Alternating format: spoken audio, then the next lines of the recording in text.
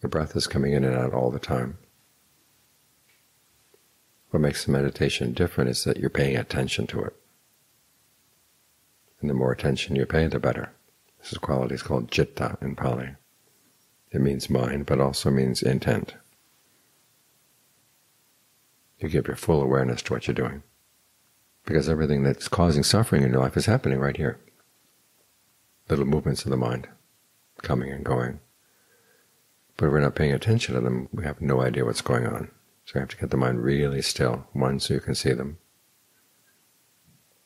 and to, so that you can have a sense of well-being as you look at them and not get carried away with them. Because all too often greed arises, anger arises, lust arises, fear arises, and we just go with it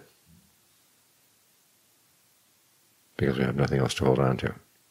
An important principle is you give yourself something good to hold on to. And Maha image is climbing a ladder. You don't let go of the lower rung until you have a firm grip on the higher rung. And then you can keep going higher and higher and higher, letting go only when you've got something good to hold on to. So pay attention to the breath. Get the mind to settle down right here. Have a sense of belonging right here. Think of a cat lying in a patch of sunlight on the carpet.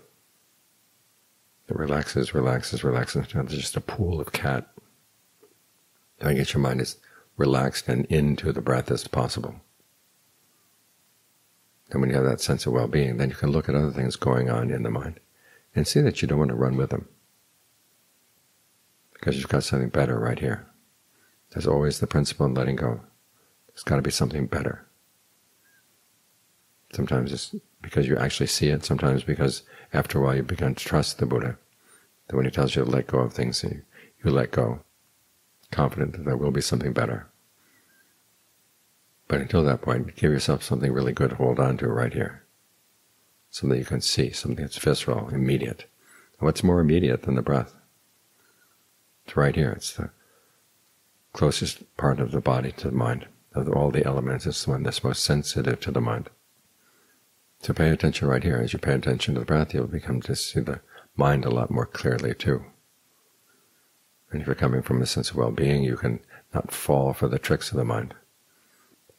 Because in the past the mind would promise you, greed would make promises, anger makes promises, though they don't fulfill, but at least they promise you something, maybe give you a little scrap here and there. And you go over the scraps because you're not well fed. But now when you feed yourself well with a sense of well-being, staying with the breath coming in, and going out, then when the the refinements throw scraps at you, you can just look at them and say no thanks.